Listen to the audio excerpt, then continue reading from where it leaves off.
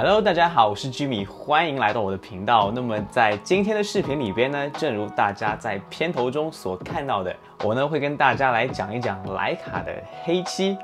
那么首先呢，我们会来简单的聊一聊徕卡黑漆的历史，那以及呢，我会给大家展示一下我现在手边拥有的这些徕卡的黑漆的机身，顺便呢，也是跟大家来讲一讲每一代的这个徕卡 M 的机身呢有什么样的一个特点。好，那么话不多说，我们现在开始吧。那么讲到徕卡的黑漆呢，可能大家会想到的就是这样一台斑驳的机器，它上面呢有着这个沉淀了历史的厚重感的黑色的涂装，以及呢会有着呃非常漂亮的这个金色的黄铜呢点缀在这个机身上。那首先呢，呃大家可能不知道，徕卡最初的这个机器啊，它默认的涂装就是黑漆。直到上个世纪三十年代呢，徕卡才是给消费者啊提供了银革的这样一个选项，并且呢，在选择银革的时候还要加上一定的费用，因为它相对于黑漆来讲呢是比较新的一个技术。因为大家都知道啊，黑漆呢非常容易剥落，而银革呢可能在使用很长一段的时间之后啊，还是和新的一样。但是可能大家都没有想到。在这么多年以后的今天啊，反而是被徕卡一直觉得有瑕疵的这个黑漆技术啊，更受到大家的追捧。那黑漆之所以会受到这么多人的关注呢，我觉得一个主要原因也是因为啊，大家都会有着这样的一种浪漫主义的情怀，就是觉得哎，自己可以和这个相机啊一起去走过千山万水，经历这个世间百态，然后呢，一起慢慢变老的这么一个过程。那黑漆的徕卡机身呢？还它仿佛就是这样的一个时间和历史的容器啊，那把你和你相机的故事呢，全部都写在了里边。那另外一点呢，就是这个黑漆机身的稀缺性了。那据说呢，就比如说我手里的这一台像徕卡 M3 这样的机器呢，在当时啊，只有被大众所认可的摄影师或者记者呢，才能去啊订购啊这个黑色涂装的徕卡 M3，普通的消费者呢。啊，可能只能买到这个银格的 M3 的机器。那根据大家现在网上可以查到的，也是徕卡官方所认可的这么一个列表呢，呃，一共有一千三百二十台 M3 是黑色涂装的。那其实呢，呃，在二手市场上大家可以买到的黑漆 M3 呢，是不止这个数字的。为什么呢？那我们现在看到的在列表里边的 M3 呢，都是百万号段以后的。那可能大家不知道，在百万号段以前，就是九字头的这个徕卡机身上呢，也是有黑漆的。那么据说呢，是有九十台机器啊，是当时客户专门定制的，而且是佛尔双波的这个黑漆的 M3。那它价格呢，自然是比后边这些机器更高的。那我像我手中的这台 M3 呢，是列表里边可以查到的。呃，应该是第三批次的这个黑漆的 M3。那黑漆的 M3 呢，批次越早，它的价格呢也是越贵。那我觉得大家如果是想要有购买黑漆 M3 的这个需求的话呢，我个人觉得没有必要去追求这个批次的早与晚，能够找到一台状态相对较好的，然后没有就是大的磕碰的 M3 呢。呃，已经是万幸了，因为大多数这些机器啊，就像我前面说的，都是在被记者、包括摄影师日常使用的，那自然呢，它的这个成色就比较战斗了。好，那么讲完了这个 M3 呢，我们再来讲一讲啊，黑漆的 M2。那这个 M2 呢，其实跟 M3 区别并不大啊。那当时呢，呃，徕卡也是为了降低成本。然后呢，能够让更多的摄影师有可以去购买这个 M 系列的相机，所以说它是推出了这个 M2。但是撇开这个讲法，从今天反过头来看的话，我相信可能更多的人是更青睐于呃 M2 这样的一台机器，因为首先呢，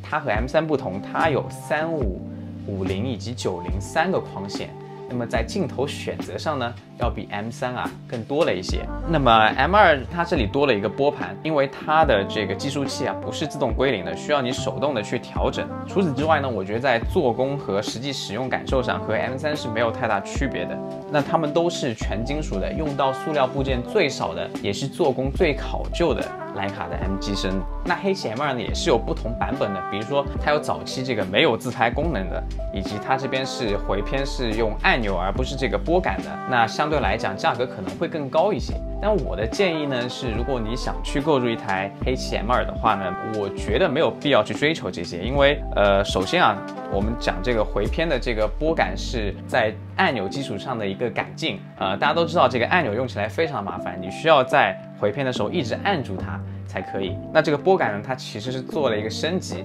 和 M3 一样啊，用起来会更方便一些。那还有呢，就是因为它在之前的属性和 M3 是一样的，都是被日常使用的这些机器，呃，所以我觉得大家能够找到没有重大磕碰的这个机身，我觉得就 OK 了。好，那么讲完了 M2 呢，我这边再讲一讲这个黑漆的 M4。可能你会觉得，哎，这不是一台银色的 M4 吗？啊，没错了，因为我的黑漆 M4 还没有到，那么其他都是一样的。就是 M 四跟 M 二以及 M 三相比呢，它是做出了最多改进的这么一代徕卡的机身哈。呃，首先呢，它和 M 二、M 三不同，它采用了一个快速的这个上片装置啊，你就不用把里边的这个我们讲这个 film spool 给拿出来，然后装上胶卷再放进去。它直接就是上卷，哎，勾住之后呢就可以了。那除此之外呢，呃，M 四也是采用了这个更加快速的这个回偏装置，呃，和这个使用起来更加舒服的这个呃过偏的把手。那这些改进呢，好与否，我觉得就见仁见智了。就好像我自己其实这三个改进我都不大喜欢，为什么呢？我们首先来讲一讲这个所谓的快速上片装置。如果大家有用过这个装置，都知道这个东西很容易失误。如果你没有确保它的这个胶片卡到这个齿轮上面的话，很有可能你一卷拍下来就是空的。那来讲这个快速回片，确实它的速度啊会比我们传统的这个呃 M2、M3 上的这个拨盘会快很多，但是它也有不少的缺点。首先一个就是，至少我在使用它的时候。感觉用起来手指非常的痛，这个卷完一篇，感觉这个手指都已经废了。还有一点就是它比较的不那么牢固啊，感觉这个部件呢，比起之前的这一整块的这个金属啊，又是多了那么一点点这个松动感啊。包括这个像回片上的这个塑料，我觉得都不是那么的好看。那从做工和用料上来讲呢，呃，M4 还是相对不错的，因为包括像它后面的这个转盘啊，以及计数器啊。都是金属的。那关于 M4 黑漆的这个数量跟数目呢？呃，这边就比较特殊了，因为我们知道啊，呃，黑色的 M4 除了有这个黑漆之外，还有黑格的存在。那么如果你去查询这个徕卡官方的资料的话，你可能只能看到黑或者是银这两种不同的呃颜色的区分，但是你具体很难去分辨，哎，到底这个编号是黑漆还是黑格？那么普遍呢认为就是在徕卡 M 五的生产周期开始之前的这个黑色的 M 四呢，它都是黑漆的，因为我们知道黑格是在徕卡 M5 之后才推出的这样的一种涂装的选择。那么在 M5 遭受到了市场的挫折之后呢，徕卡是重新投入生产了这个 M4。那所以在之后生产的 M4 呢，啊，它应该都是黑格的这样的一个涂装。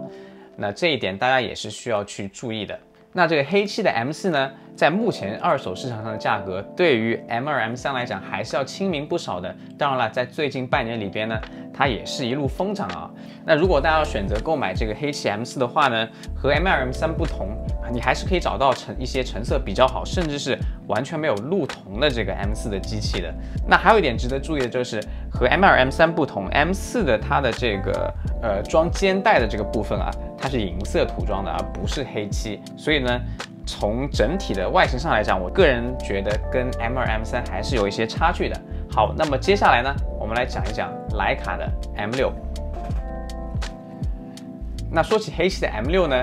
嗯，我觉得故事就比较多了。可能啊，徕卡也是觉得，哎，黑漆的徕卡机身非常的好卖。所以呢，到了 M6 这一代呢，所有的黑漆的机身，它都是要么就是限量版，要么就是纪念版。诶，比如说哪里的皇子结婚啦，哎，哪里通了一座桥啊，它都要去做一个限量的黑漆版本的这个 M6 的机身啊，就导致现在市场上的黑漆 M6 的版本是非常非常多的。那我个人觉得比较值得收藏的呢，一个就是我手上的这一台千禧年，包括 NSH 日本特供版本的徕卡黑漆的。M6，那它呢有几个特殊的地方，我待会儿会讲一讲。那还有一台呢，就是 LHSA 徕卡历史协会版本的，它有一个黑色的徕卡可乐标的。呃，那台 M6 呢，也是我个人觉得比较值得收藏的。好，那我们来讲一讲我手上的这台。那它和常规的 M6 比起来呢，有几个不同地方。那也是因为我手边没有拿这个 M6 的机器啊，所以我们拿这台 M4 来做一个对比。那首先大家可以看到的是，常规 M6 的过偏以及回偏呢，都是跟 M4 上面一模一样的。那这台 M6 呢，它采用的是 M2、M3 上面的这个比较传统的这个。呃，慢速的回偏以及呢这个全金属的过偏，那这一点我个人是非常喜欢的，因为我觉得明显他们会更加的好看。那还有一点呢，就是呃，这是一台 TTL 版本的 M6，那我们可以看到它的这个快门的拨盘啊，是跟现在的数码机器一样是比较大的，而且呢它的方向也是跟小盘的 M6 相反的。那这台机身，我觉得最特别的一个地方就是，其他所有版本的徕卡，除非是你自己定制的这个阿拉卡特的版本啊，呃，要么它有这样的一个经典的徕卡的呃铭文在机身上边，要么它就是有一个呃红色的可乐标在前面。那只有这台机器呢，它是同时拥有上面的这个铭文以及前面的这个可乐标，所以我觉得是非常有意思的一台机器啊。还有一点就是，我们可以看到这台 M6 它边上的这个，呃，就是装相机肩带的这个部位，它也是黑漆。并且呢，也是会录铜的，呃，我觉得这一点非常的棒。那么常规版本的 M6 跟前面几代徕卡机身相比啊，它的做工是缩水了不少的，包括很多的塑料部件的应用，以及里边的一些装置的简化，这个都是大家可以呃很轻易的看到的一些变化啊。那我觉得这个限量版的黑漆的 M6 呢，相对来讲啊，在做工方面会好一些。但这台机器同时还要注意的一个地方，就是它的取景器非常容易起雾啊，所以你如果在选购的时候，一定要检查清楚它的取景器是否是清晰的。它还有一个特别的地方，就是跟大多数的这个黑漆的 M 机身不同，它的这个计数器里边的指数啊，也是黑底白字的，呃，非常的漂亮。好，那么讲完了 M 六呢，我们再来讲一讲现在。目前在产的也是大家可以买到的最便宜的这个黑漆的徕卡机身，也就是徕卡的 MP。那这台徕卡 MP 呢，我个人其实觉得是最好用的徕卡机身了。首先呢，是因为它和 M6 一样都有测光啊，这一点我觉得就不用多说了。那还有呢，就是它使用的是传统的呃 M2、M3 上面的回偏和。这个过片的把手，然后呢，它的这个取景器又是抗眩光的，这个比起 M6 来讲又是一大提升，所以我觉得 MP 真的是一台集大成者，并且呢，你只要花费比银色可能多，呃几千块钱就能买到这样一台全新的黑漆的徕卡机身，呃，所以我自己呢使用最多的也是这台黑漆的机器啊，但是需要注意的一点是，呃，徕卡的 MP 包括像前面这一台。呃，千禧年或者是 NSH 版本的呃 M6 呢，它的这个黑漆的涂装跟前面老的 M2 或者是 M3 这样的黑漆是有些不同的。那么据我所知呢，那徕卡也是为了让大家可以更快的体验到这个露铜的感觉，所以说，呃，它的这个漆面啊，比起之前的黑漆是要薄一些的。那导致的一个直接的结果呢，就是它非常容易出这个发丝纹。可能你还没有露铜呢，但是你的机身已经就是伤痕累累了。但是我觉得也不用在意啊，因为这个黑漆的机身它就是这样子，你越用它它越旧。然后呢，呃，旧到一定的程度，当你有黄铜开始展露的时候，可能它又变得漂亮起来了。但是非常搞笑的是啊，在现在市场上，像 M6 啊，包括 MP。甚至 M4 这样的，你还能如果还能买到比较新的这种没有露铜的黑漆的机身的话，呃，反而是这些没有露铜的机身会价格高于已经露铜的机身。呃，可能大家的想法就是说，哎，最好是我自己去把它用露铜这样的一个情况吧。呃，但我个人其实不太会介意说机身是否露铜这一点，因为迟早它都是会露的嘛。好，那么接下来我们来讲一讲。呃，另外的两台机器就是徕卡的黑漆的数码机器。那首先是这一台黑漆的 M9，呃，黑漆的 M9，它的这个漆面的涂装，呃，又有些不同了。它采用的是，嗯，比较有磨砂质感的，呃，很明显反光比较少的这个黑漆。当然，我这台是因为呃贴了这个保护膜，所以说看起来会反光更强烈一点。那 M9 呢，在这里我也不多赘述了，因为我在前面的视频中也有讲过，它是一台非常特殊的徕卡的数码机身，因为它采用的是这个柯达的 CCD 的传感器啊。那这样的一台数码的机身呢，如果大家去网上找一下的话，也是可以。呃，非常漂亮的去录铜的。那这台机身呢，很明显跟我上面所有的其他机身比起来都要厚不少。那包括 M 二四零也是啊。那数码的这个徕卡黑漆的机身呢，跟之前胶片比起来就不太一样了。那你会发现在二手市场上面，这个银格的机身的价格和黑漆的价格。呃，几乎是一样的，所以说我觉得，如果你从性价比的角度去考虑的话，可能去买一台黑漆的二四零或者是 M 九来体验一下这种路铜的感觉呢，是最划算的吧。好，那么这边最后一台我要讲的机身呢，就是这个徕卡的 M 十 P 的黑漆的特殊版本。那么这台机器呢，它其实是一个限量版。呃，据说会产出一共两千台左右啊。那么这台机身呢，我觉得是徕卡数码机身的一个集大成者。那首先呢，它是把这个数码的机身啊做到了和 M2、M3 一样的这样的一个厚度啊，我觉得这一点是非常非常了不起的。那其次呢，它在这边是加上了一个 ISO 的拨盘，也是模仿了这个在胶片机身上的这个回偏的这个拨盘，我觉得这也是非常棒的一个设计。那还有一点就是这个黑漆的呃 M 十二呢，和黑漆的这个 M 九呢又有所不同了，因为它的漆面呢是和 MP 完全一样的这种呃亮面的，而且是漆面比较薄，容易快速入铜的这样的一种黑漆啊。呃，喜不喜欢？我觉得这个就见仁见智了。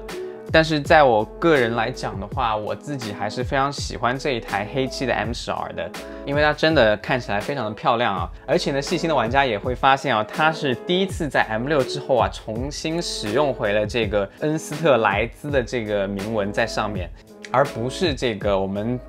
可以看到的，比如说在 M 九上面的这个 Like a Camera 这样的一个铭文，呃。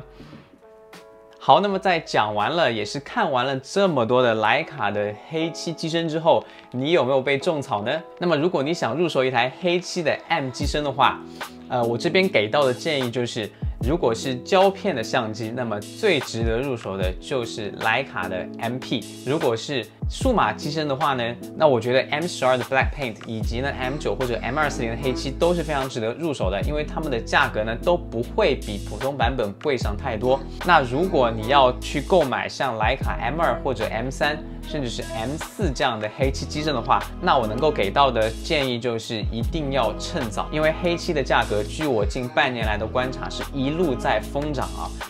呃，我不知道这背后的原因是什么，可能是有人说商家在炒作也好，那可能也是疫情的原因，大家都出不去家门，那么对于器材的这个渴望也是越来越强了。所以呢，买黑漆真的真的一定要趁早入手，看到合适的就不要犹豫了。好，那么这期视频呢就先到这里了。首先非常感谢大家对我一路以来的支持，那么也是希望你们能够继续支持我，让我能够有动力做出更多的视频带给大家。喜欢这期视频的话，请给我点个赞，然后呢分享给你的朋友，让他们也可以看到这样的内容。好，那么我们这一期的视频就到这里结束了，我们下期再见了，拜拜。